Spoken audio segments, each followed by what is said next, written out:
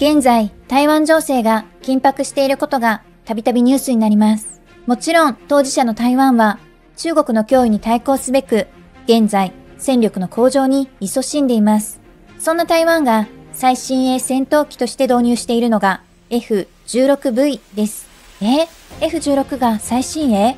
中国にはステルス戦闘機いるんだから F35 導入しないの？と思った方も多いでしょう。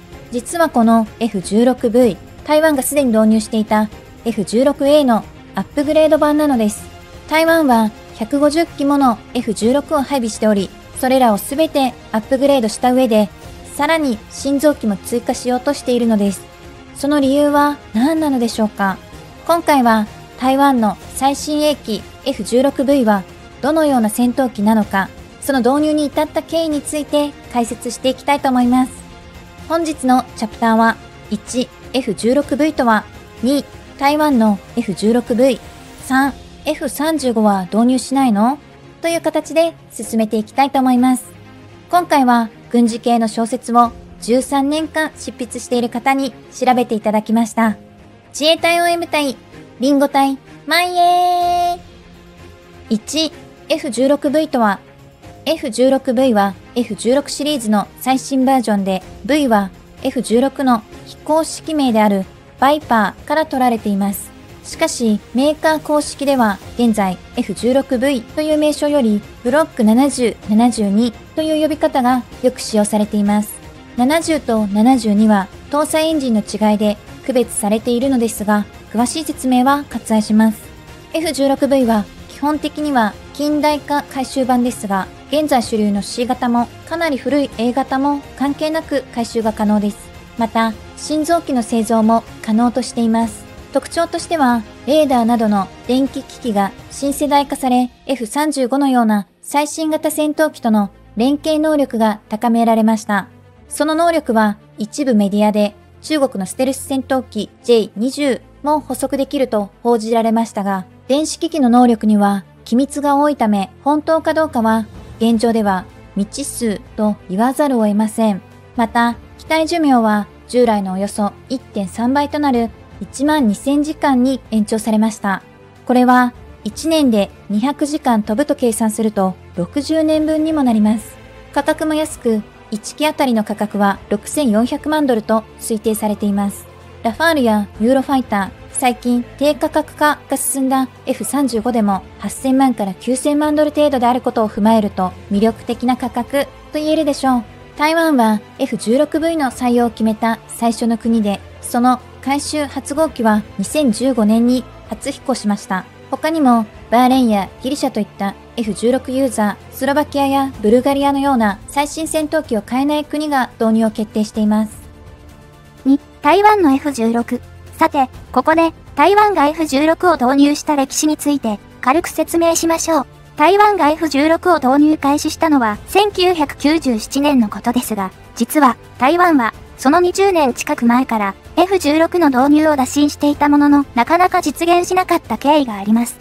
その大きな理由が中国との複雑な関係、いわゆる一つの中国原則です。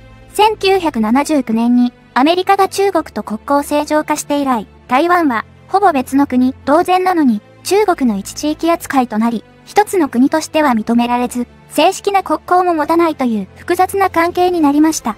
以降、アメリカは台湾への兵器輸出は常に中国の顔色を伺いながら行っており、台湾はオフェルや1世代前のものしか買えず、なかなか最新兵器が手に入らないという状況になったのです。やっとのことで入手できた F16 も、初期型である A 型の近代化改修版、つまり新型ではないという名目で導入されたほどです。このような最新兵器の導入が難しい状況で、台湾は中国の脅威増大に対抗していかなくてはならなかったのです。そんな中での F16V 導入決定は、パイロットたちにとってありがたいことだったでしょう。台湾は F16V への回収作業を2017年から開始しており、2022年までに回収を完了させる計画です。また、新造機も導入予定とされています。また、2020年には台湾に F16 のメンテナンスセンターが開設されました。これにより、台湾はより安価に F16 のメンテナンスを行うことが可能になります。アメリカが F16 ファイティングファルコンを台湾に売却を決めた2019年、中国は断固として反対する内政干渉だと強く反発しました。それは F16 が高性能で警戒の表れと言われています。3、F35 は導入しないの？ここまで台湾の F16 の歴史を軽く説明していきましたが、これを踏まえれば台湾がなぜ F35 を導入しないのかがわかると思います。つまり、したくてもできないのです。アメリカは台湾への F35 輸出には慎重な姿勢で、実際2006年に台湾が導入を打診した際は拒否しました。また、アメリカは台湾に潜む中国のスパイも警戒しているとされ、スパイ対策法律の強化を交渉の条件として求めたともされています。F16V の導入は、このような状況での妥協の産物とも言えるかもしれません。しかし、台湾側は戦術した理由で F16V と J20 の力は白昼しているとした上で、それでも脅威は今後も続くことから将来 F35 を持つ必要性はあるとしています。その期間は10から15年は必要としており、すぐにはできないと分かっていても F35 の導入を諦めたわけではないようです。全然知らなかったです。まとめ、いかがでしたでしょうか？台湾が新型の F16 を導入した背景には、台湾特有の複雑な事情があることが分かっていただけたかと思います。しかし、近年は中国の脅威増大に伴い、アメリカも大きな兵器輸出をためらわなくなり始めています。この F16V の投入も台湾に対する大規模な先進戦闘機の売却としては1990年代以来のものとされていますが、戦闘機に限った話ではありません。例えば、世界最強クラスの戦車として、有名な MI エイブラムス戦車108両、それも最新型に準じた MIA2T と呼ばれるタイプの売却も決定しています。当然、これらの兵器売却について、中国は猛反発していますが、アメリカも台湾も止める気はありません。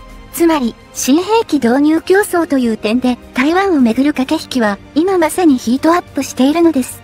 今後も、台湾の新兵器事情から目が離せないでしょう。台湾有事は日本有事です。自衛隊の皆さん、いつもありがとうございます。防衛費上げてください。今回の動画、いかがだったでしょうか？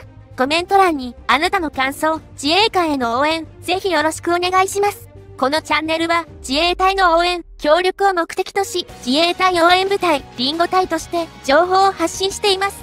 チャンネル登録ぜひ、お願いします。リンゴ隊と自衛隊のグッズ、すずりで販売中です。いいのがあればズキュンを押してね。今日も自衛隊、視聴者の皆様、ありがとうございます。お疲れ様でした。レオマス。敬礼日本が大好き自衛隊に感謝感謝自衛隊 OM 隊、リンゴ隊隊長のリンとラット塾長、リクちゃん、ウミちゃん、ソラちゃんでした。リンゴ隊、前へ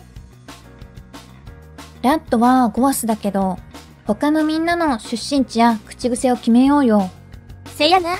せやな。せやね。ツイッターで募集中です。せやな。